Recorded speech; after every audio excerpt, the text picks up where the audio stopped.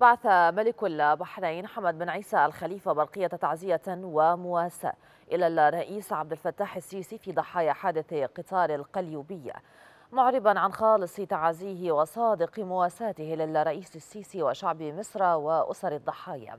كما بعث ولي العهد البحريني ورئيس مجلس الوزراء سلمان بن حمد الخليفة برقيتي تعزية ومواساة إلى الرئيس السيسي ورئيس الوزراء دكتور مصطفى مدبولي. دعا خلالهما الله أن يتغمد الضحايا بواسع رحمته ومغفرته ويسكنهم فسيح جناته وأن يمن على المصابين بسرعة الشفاء والعافية وأن يحفظ مصر من كل سوء ومكروه.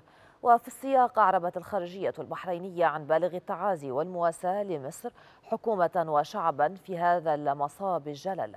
سائلة المولى عز وجل أن يتغمد المتوفين بواسع رحمته وغفرانه وأن يمن على جميع المصابين بالشفاء العاجل.